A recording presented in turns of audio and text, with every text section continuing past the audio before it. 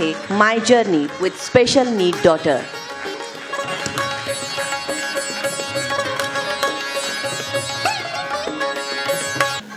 नमस्कार.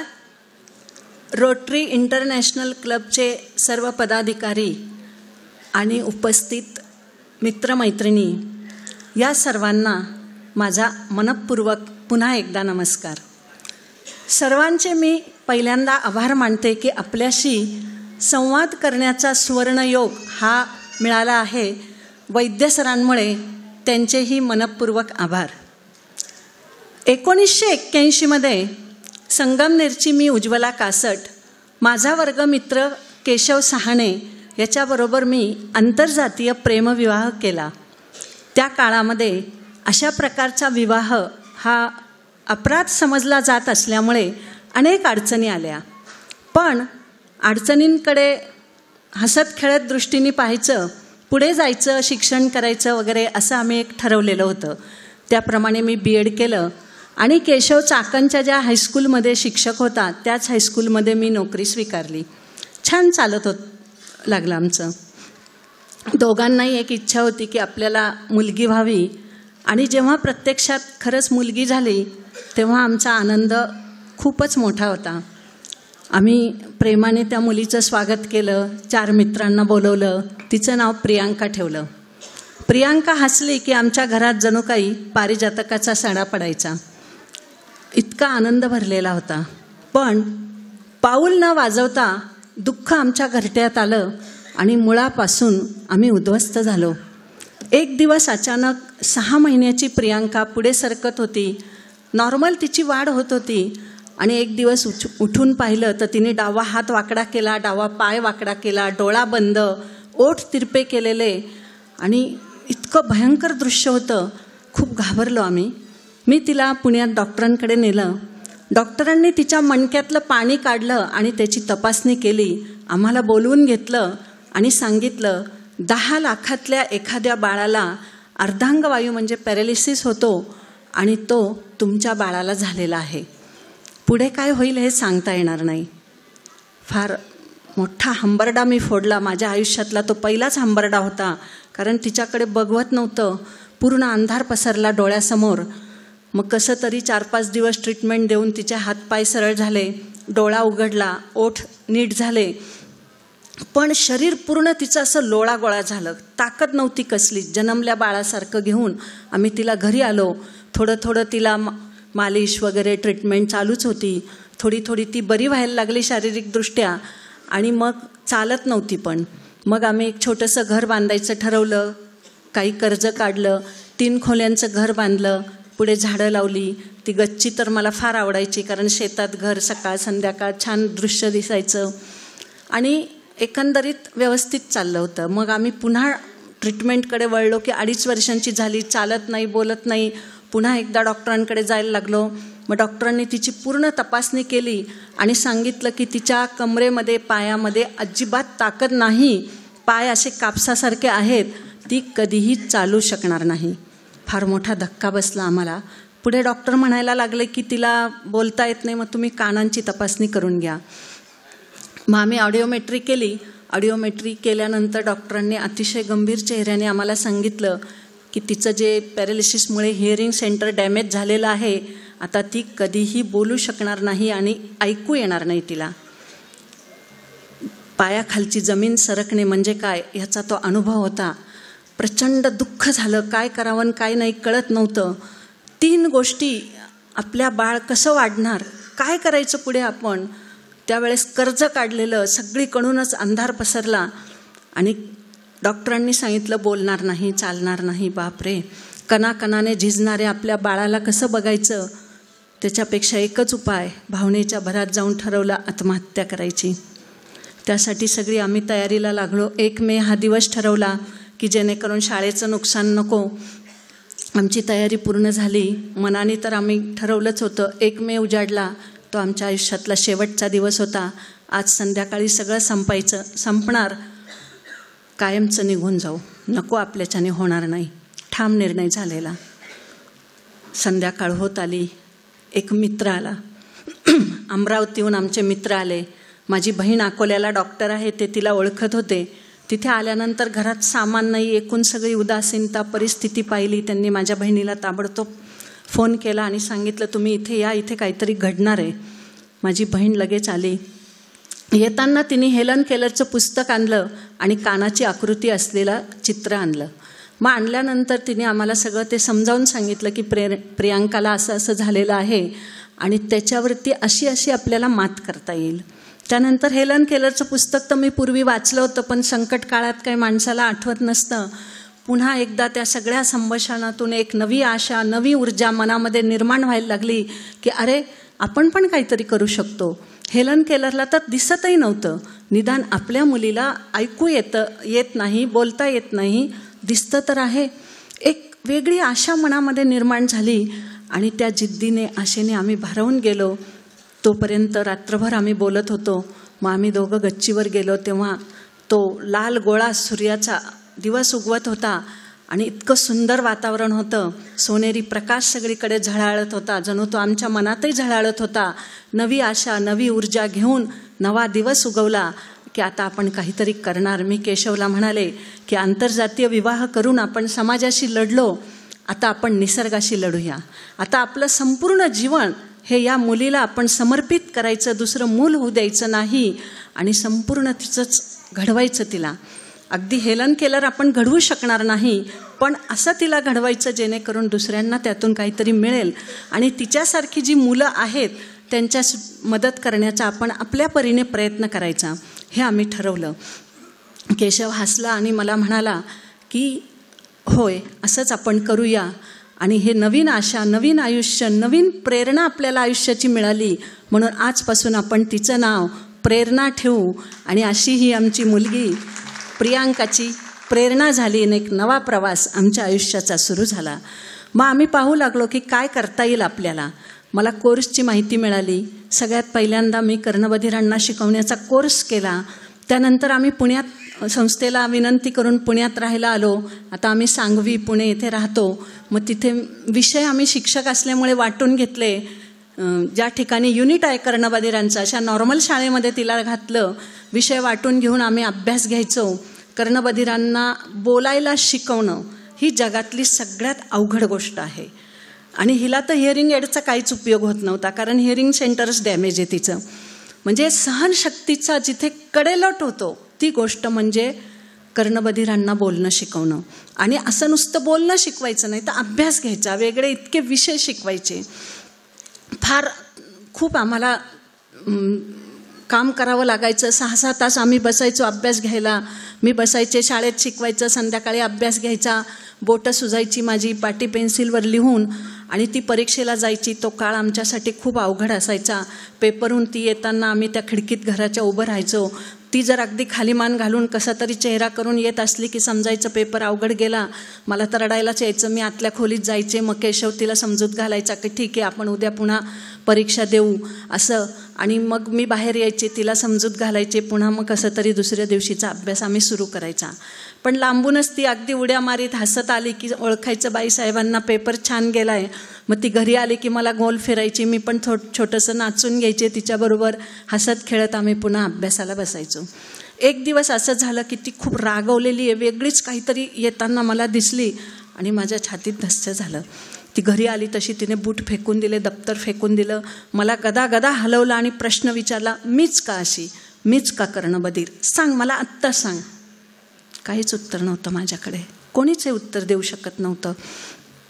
तिने केशवला पण खूप हे केलं. ती ऐकतच नव्हती. मग ती देवापुढे गेली तिने फेकाफेक केली देव उचलले फेकून दिले. मी का अशी? मी म्हटलं काय झालंय?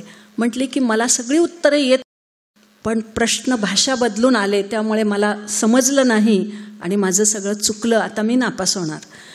काहीच करू शकत नव्हते मी. ती खूप चिडलेली होती. स्वतःवर जगावर आमच्यावर. आणि ती अशीच देवापुढे बसली बसली बसली आणि मी हात पण आम्हाला लावू देत नव्हती. तिने खाली मान घातली रडत रडत ती झोपी गेली. अर्धा पाऊन तास आम्ही बसून राहिलो तिच्याकडे बघत. दोघंही आम्ही रडत होतो की आता करायचं काय? पाऊन तासाने तिने डोळे उघडले हसली माझ्याकडे पाहून आणि मला म्हणाले काही नाही मी आहे तीच छान आहे. मी कर्णबधीर आहे जाऊ दे असू दे. मी अशीच राहीन मी वेगळी आहे मी विशेष आहे. देवानी मला वेगळं घडवलं आहे मी काहीतरी वेगळं करीन. अभ्यास कमी करीन वेगळं काही. पण मी आहे ती छान आहे. मला खूप आहेसं वाटलं. मी तिला घट्ट मिठी मारली. दोघींच्या डोळ्यातून आता माझ्या डोळ्यातून आनंद अश्रू आले. मला आनंद एवढ्याचसाठी झाला की तिने स्वतःला स्वीकारलं होतं. आहे त्या परिस्थितीत स्वतःला स्वीकारणं ही सगळ्यात महत्त्वाची गोष्ट आहे. हीच सकारात्मकता आहे. आणि ही जर सकारात्मकता आपण जीवनामध्ये उतरवली तरच आपण पुढे चालू शकतो. आणि मग पुन्हा तिने कधीच असं म्हटलं नाही की मी कर्णबधीर रेन मी अमुक मी तमुक मी वेगळी आहे मी विशेष आहे मी काहीतरी करणार आहे. त्यासाठी मी आले एवढंच. नंतर मग तिच्या मनातील संवेदनशीलता खूप महत्त्वाची होती. ती पण माझ्या लक्षात आली. आम्ही जिथे राहत होतो तिथे एक मोत्या तिचा कुत्रा मांजरं तिला खूप आवडतात आणि तो तिचा दोस्त होता मोत्या. आणि आम्ही एक दिवशी मी किचनमध्ये स्वयंपाक करत होते. मला मोत्याबरोबर ती खेळत होती हॉलमध्ये. विचित्र आवाज ऐकू आला म्हणून मी अगदी धावत येऊन पाहिलं.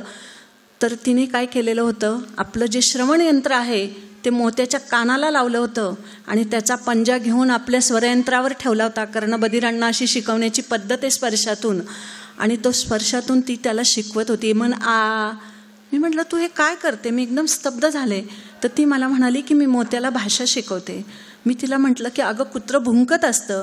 ती मला म्हटली हो मला माहिती आहे कुत्रं भुंकतं आणि बोलतं पण. तिची कल्पना होती त्यावेळेस. आणि ती मला म्हणाली सगळी कुत्री बोलतात हा बोलत नाही कारण हा माझ्यासारखा कर्णबधीर आहे आणि मला शिकवायला आई बाबा आहे मला शाळा आहे ह्याला कोण शिकवणार? म्हणून मी ह्याला शिकवते आहे. असं ती मला म्हणाली आणि माझ्या मनात एकदम हे झालं की आपली मुलगी खूप संवेदनशील आहे. तिची संवेदनशीलता आपण जपली पाहिजे. मी ज्या शाळेमध्ये शिकवत होते त्या शाळेत एका मुलीने खूप नृत्य सादर केलं सुंदर नॉर्मल शाळेतल्या. अचानक सहज मी त्या मुलीला म्हटलं की छान ग तू नृत्य केलं आहे ती म्हटली की मी भरतनाट्यम शिकते आणि माझ्या गुरु आहेत सुमिता चटर्जी महाजन आणि त्या मला शिकवतात. तर मी कसं कोण जाणे तसं काही माझ्या डोक्यातही नव्हतं. पण मी अचानक तिला म्हणाले की त्या माझ्या मुलीला शिकवतील का? आता ती शाळेतली मुलगी होती आठवीतली. ती म्हटली हो मॅडम शिकवतील. असं करू शाळा सुटली की आपण त्यांच्या घरी जाऊ त्या औंधलाच राहतात. आता मला काहीच बोलता येईना कारण विद्यार्थिनीला काय बोलणार मी? मग मी घरी फोन केला यांना म्हटलं तुम्ही या शाळेमध्ये. तर हे म्हणे की आपण चित्रकला वगैरे शिकवायला काहीतरी कला द्यायची म्हणून आपण फार प्रयत्न केले. पण प्रत्येक ठिकाणी दोन तीन दिवस शिकवलं की शिक्षक ते म्हणायचे की आम्ही कसं बोलणार हिच्याशी? आम्ही कसं शिकवणार हिला? आम्हाला नाही जमणार. पण म्हटलं आता कसं आहे की विद्यार्थिनीचं मन मोडायचं नाही ते मनाला बरं वाटत नाही आपल्या. मग आपण जाऊयात आपल्याला माहिती त्या नाहीच म्हणणार आहेत. असं म्हणून आम्ही त्यांच्या घरी गेलो. त्या बावीस चोवीस वर्षाची एक तरुणी तिथे होती त्यांच्या आई होत्या. खूप छान ते सगळे बोलले आमच्याशी. प्रेरणा आणि शुमिता ह्या एकमेकांकडे पाहत होत्या. आणि आईनी शुमितांना सांगितलं होतं की कोणी आलं की त्यांना नाराज करायचं नाही. मग त्या मी त्यांना म्हटलं त्या एकमेकींच्या डोळ्यातून काय भाषा बोलल्या माहिती नाही आजही माहिती नाही.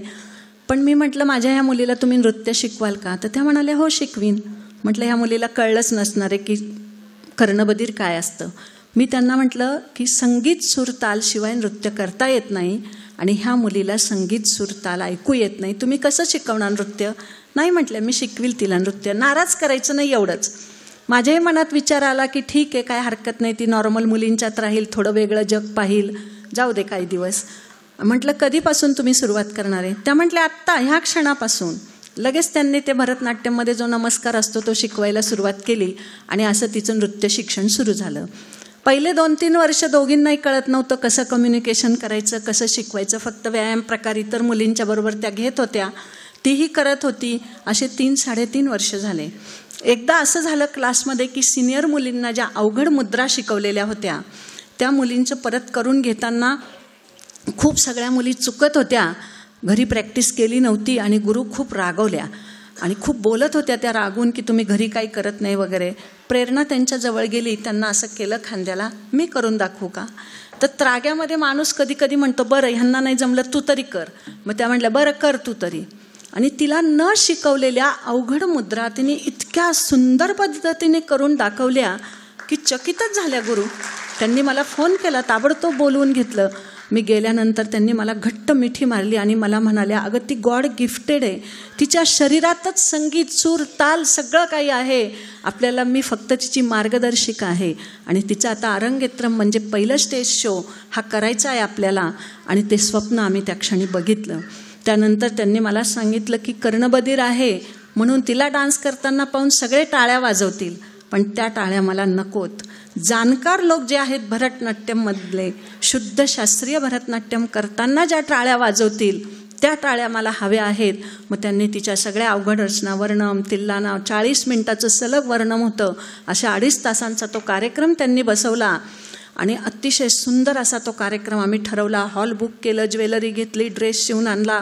सगळी तयारी झाली आणि अगदी फायनल प्रॅक्टिस होती. आणि प्रेरणा म्हणाली मला नाही जमणार. मला फार भीती वाटते मला जमणार नाही मी हे करू शकणार नाही. शाळेतल्या राजकारणाने मी पण खूप त्रस्त झालेले होते उदास होते मनातून. मलाही असं वाटलं नाही होऊ शकणार हे. पण मी तिला म्हटलं आपण प्रॅक्टिसला निघालो आहे तर जाऊ आज बघू काय करायचं ते. बस स्टॉपवर उभं राहिलं पंधरा वीस तीस मिनटं झाली बसच आली नाही. असंच ती मला म्हणाली आपण घरी जाऊ मी करणार नाही तू सुमिताला सांगून टाक कॅन्सल आरंगेत्रम. तर मी म्हटलं पाचच मिनटं थांब. बस आली तर आपण जाऊ करायचं अरंगेत्रम. नाही तर नाही करायचं. आम्ही असंच थकून बसची वाट पाहत होतो. इतक्यात एक कावळा आमच्या पाठीमागून तो सा रोड ओलांडण्यासाठी आला. या बाजूला झाड नव्हतं. संध्याकाळची वेळ होती. आणि समोरच्या झाडावर बसण्यासाठी असा उड्या मारीत आला. आम्ही नीट पाहिलं तर त्याला एकच पाय होता. तुटला होता दुसरा पाय. आणि तो असा उड्या मारीत मारीत त्यांनी रस्ता क्रॉस केला. आम्ही दोघी त्याच्याकडे बघत राहिलो. त्या समोरच्या झाडावर तो थोडासा चढला आणि खाली पडला. प्रेरणाने माझा हात घट्ट धरला. तिचे डोळे भरून आले. पण तो कावळा परत उठला. टुन उड्या मारीत तो असा थोडा वर गेला. बराच वर गेला आणि धाडकन खाली पडला. आता मला पण कसं तरी व्हायला लागलं. माझ्याही डोळ्यातून. आम्ही एकटक पाहतो आहे. पुन्हा तो दोन चार मिनिटांनी कावळा उठला चालला टुनटुन उड्या मारीत वरती वरती गेला खूप वर गेला आणि धाडकन खाली कोसळला. मला वाटलं आता कावळा गेला. संपलं. म्हणजे खूप आधीच आपण सगळे उदास दुःखी त्यात ते दृश्य असं खूप कसं तरी झालं. पण चार मिनिटाच्या विश्रांतीनंतर ताजा तवाना होऊन कावळा परत त्या झाडावर चढायला लागला. आम्ही दोघी पाहत होतो. आणि तो टुनटुन उड्या मारीत तो कावळा वर गेला वर गेला वर गेला आणि पानांच्या आड जाऊन दिसेनासा झाला. आम्ही दोघींनी टाळ्या वाजवल्या. लोक आमच्याकडे बघायला लागले की काय झालं यांना. तेवढ्यात बस आली. आम्ही बसमध्ये बसलो. आम्ही दोघी खूप हसत होतो. आणि मी तिला म्हणाले की तुला नाही करायचं ना अरंगेत्रम? नको करू. मी काय करते? कावळ्याला ज्वेलरी घालते कावळ्याला ड्रेस घालते आणि आपण कावळ्याचंच अरंगेत्रम करूया. ती खूप हसायला लागली. म्हटली मला एक प्रश्न विचारायचा आहे म्हटलं काय? म्हटली तू कावळ्याला लिपस्टिक कशी लावणार? आणि तो लिपस्टिक लावलेला हे केलेला कावळा कसा दिसेल आरंगित्रम करताना अशी गंमत जम्मत करीत आम्ही प्रॅक्टिसला गेलो.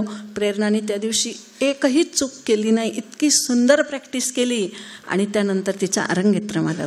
दोन हजार सातमध्ये तिचं अरंगेत्रम झालं. आम्ही आधी प्रेस कॉन्फरन्स घेतल्यामुळे मीडियामध्ये आलेलं होतं आणि खूप लोक तिला एक हजार लोक पाहण्यासाठी आले. पूर्ण हॉल गच्च भरलेला. चा आठ फुटी पितळी नटराज मागे लावला होता. नक्षीदार खांब आणि मध्ये प्रेरणाचं नृत्य. एकापेक्षा एक सरस कार्यक्रम झाला. एक हजार लोक स्तब्ध बसून होते. सगळ्यांना खूप आवडलं की काय करू शकते एखादी मुलगी? मनात जिद्द असेल करण्याची इच्छा असेल आणि गुरु असतील अर्थातच मार्गदर्शक तर माणूस काय होऊ शकतो? ह्याचं ते सुंदर दृश्य होतं. आणि लोकांना इतकं भावलं ते. कोणीसुद्धा उठून गेलं नाही. नाही तर एरवी कसं असतं? ठीक आहे थोडं पाहिलं गेले. प्रत्येकाच्या डोळ्यातून अश्रू उकळत होते. एकापेक्षा एक सुंदर रचना तिने सादर केल्या. लय तिचं ते एकूण सगळं पाहण्यासारखं होतं. आणि शेवटचा जो मंगलाचरण असतो त्याच्यामध्ये तिने पाच ज्योतींचा दिवा हातात घेतला. नटराजाला प्रेक्षकांना सगळ्यांना अभिवादन करून करून अशी फिरून ती नटराजापुढे बसली. आणि ती अशी समोर दिवा ठेवला पाठीमागे नटराज समोर एक हजार लोक स्तब्ध बसलेले आणि तो दिवा पेटलेला ती बसली आणि तिने असे डोळे बंद केले जणू तिची नृत्य समाधी लागली आहे. खूप सुंदर दृश्य होतं ते. एकही माणूस जागचा हलत नव्हता. पिन ड्रॉप सायलेन्स सगळे तिच्याकडे बघत होते. अशी ती चार पाच मिनिट बसली. शेवटी मी हळूहळू तिच्याकडे गेले. तिला हे केलं. आणि म्हटलं की कार्यक्रम संपलाय. तिने असे डोळे उघडले आणि इतका टाळ्यांचा कडकडाट झाला इतका मोठा कडकडाट झाला न भूतो न भविष्यती. आजही मला असं त्या टाळ्या ऐकू येतात आणि माझ्या मनामध्ये एक नवीन ऊर्जा निर्माण होते असा तो कार्यक्रम झाला. त्यानंतर तिने मागे वळून पाहिलं नाही. सगळ्या मीडियामध्ये प्रिंट मीडियामध्ये इलेक्ट्रॉनिक सगळीकडे खूप तिचं भरभरून कौतुक केलं गेलं. तिने त्याच्यानंतर साठ पासष्ट कार्यक्रम केले. तिने मुंबई पुणे कलकत्ता सातारा संगमनेर औरंगाबादला एक छोटा कार्यक्रम तिचा झालेला आहे. आणि असे तिने खूप कार्यक्रम केले. त्याच्यानंतर तिला पुरस्कारही खूप मिळाले. दक्षिण भारतात तिने कार्यक्रम केले. वेल्लूर उडुपी गुरुवायूर कोईमतूरला एक कॅलेंडर निघतं. त्या कॅलेंडरमध्ये जानेवारी महिन्याचं पान सन्मान म्हणून प्रेरणाचा फोटो जानेवारीत छापून आला गेल्या वर्षी. कोईमतूरला असे तिने कार्यक्रमही खूप केले. पुरस्कार तिला पस्तीसपेक्षा जास्त पुरस्कार मिळाले. पण सगळ्यात महत्त्वाचा मगाशी उल्लेख केलेलाच आहे तीन डिसेंबर दोन हजार पंधराला तिला रोल मॉडेल हा विज्ञान भवन नवी दिल्ली या ठिकाणी अर्थ तत्कालीन अर्थमंत्री अरुणजी जेटली यांच्या हस्ते तिला सन्मानाने प्रदान करण्यात आला. की तिला ऐकूच येत नसते तिने चित्र काढलं असतं तर गोष्ट वेगळी होती पण ऐकूच येत नसताना त्याच्यावर मात केली. बहिरेपणावर आणि संगीत सूर ताल ऐकू येत नसताना मोठे मोठे कार्यक्रम ती करते हे फारच मोठी अपूर्वाई आहे. आणि त्याचबरोबर ती जी ऊर्जा देते की आपल्यालाही काहीतरी करावंसं वाटतं ही सगळ्यात मोठी गोष्ट आहे. त्यानंतर तिच्यावर मी पुस्तक मगाशी जरी उल्लेख झाला असला तरी तो पुस्तक लिहिलं आणि ते पुस्तक वाचल्यानंतर अनेक लोक मला फोन करतात. त्यातला एकच अनुभव शेअर करते की इंजिनिअरिंग कॉलेजला नापास झालेल्या मुलाच्या मनामध्ये विचार येत होते की कसं आईवडिलांना तोंड दाखवायचं. आता आपल्याला माहिती आहे की सोशल मीडियावर लगेच मुलं टाकतात काय करणार असेल ते. आणि मग त्याच्या मनातले आत्महत्येचे विचार त्यांनी सोशल मीडियावर टाकले. त्याच्या मित्राच्या लक्षात आलं. त्याने काय केलं? आपल्या वडिलांना सांगितलं मित्रांनी. आणि त्या मुलाच्या मित्राच्या वडिलांनी पुस्तक वाचलेलं होतं. मग त्यांनी ते प्रेरणा पुस्तक Prerna the sound of silence हे पुस्तक दिलं. वाचत गेला तो वाचत गेला आणि पूर्ण पुस्तक वाचलं. मग त्यांनी मला फोन केला. मला म्हणाला काकू इतकं प्रेरणाने केलं आहे प्रेरणा कर्णबधीर असून इतकं करू शकते. माझ्यात तर काहीच व्यंग नाही हो. मग मी का अभ्यास नाही करू शकत? मी का आत्महत्येचा विचार करून आईवडिलांना दुःखी करणार आहे? नाही म्हटला. तुमचं पुस्तक वाचून मला ही प्रेरणा मिळाली की मीही काहीतरी करून दाखवायचं इंजिनियर होऊन दाखवायचं आईवडिलांची स्वप्न पूर्ण करून दाखवायची. मला असं वाटतं की हेलन केलरला दिलेलं मी वचन एक वर्तुळ पूर्ण झालं की माझ्या पुस्तकामुळे काही लोकांना हे वाटतंय. हे फार महत्त्वाचं आहे. हा पुरस्कार खूप मोठा आहे असं मला वाटतं. बाकी राज्य शासनाचा पुरस्कार तर मिळालाच पुस्तकालाही. त्यानंतर मग चाकणला असतानाच आम्ही घरोघर हिंडून अशा मुलांना यंत्र मिळवून दे कोणाचं समुपदेशन कर प्रेरणाला समोर केलं आणि तिची कहाणी सांगितली तरी आईवडिलांचं समुपदेशन होतं. आपल्याकडे खेड्यापाड्यात फार परिस्थिती बिकट आहे. विवाह मांडळ चालवताना लक्षात येतं की ह्या मुलांपर्यंत सुविधा पोहोचत नाहीत. यांना भाषा शिकवली जात नाहीत समाजाकडून जरी नॉर्मल दिसत असले तरी समाजाकडून फार उपेक्षित असा हा गट आहे. नोकऱ्या मिळत नाहीत. दोन आणि चार हजाराच्या नोकरीमध्ये भागवणार कसं? आणि एकूणच परिस्थिती ह्या मुलांची फार वाईट आहे. म्हणून या मुलांसाठी थोडंफार जेवढं आपल्याला शक्य आहे प्रेरणाचं सांभाळून तिचं काम आणि जावईसुद्धा कर्णबधीर आहे. आणि सगळ्यांच्या आशीर्वादाने प्रेरणाला जे बाळ झालेलं आहे ते मात्र नॉर्मल आहे. आज प्रेरणा तिचं बाळ हेही या कार्यक्रमाला इथे उपस्थित आहेत. ही एक अतिशय आनंदाची गोष्ट आहे. आणि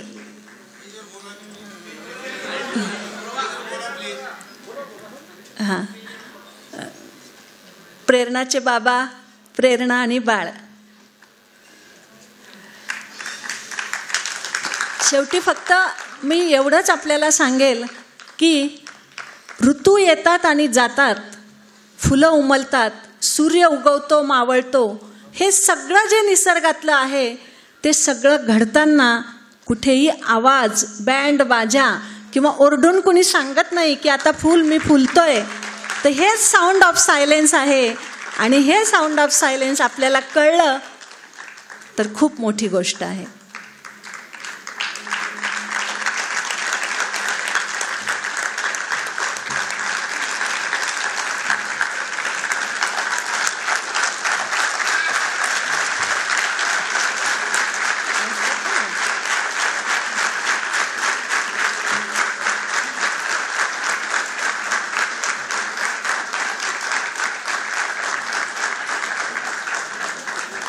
आपल्या सगळ्यांचं प्रेम पाहून खरंच आनंदाश्रू माझ्या डोळ्यामध्ये आलेत.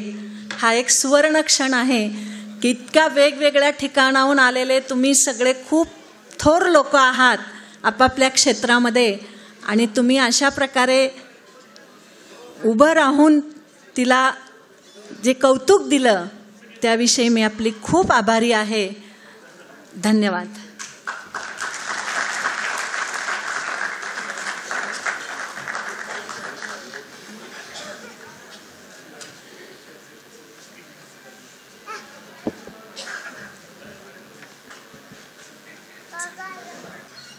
सगळ्यांचे मनापासून मी खूप आभारी आहे. यापेक्षा अधिक बोलणं जमणार नाही मला. धन्यवाद.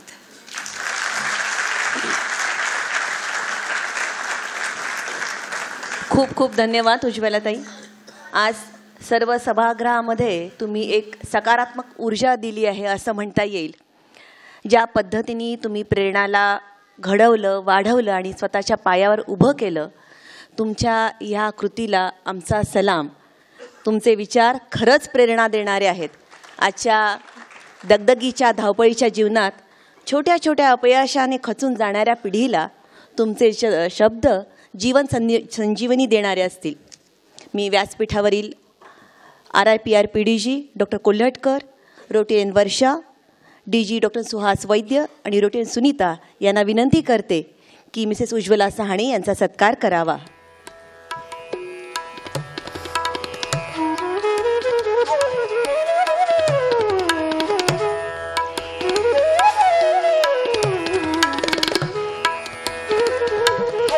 मान्यवरांना विनंती मिसेस रुपाली अष्टपुत्रे यांचाही परिचय करून दिला त्याबद्दल सत्कार करावा.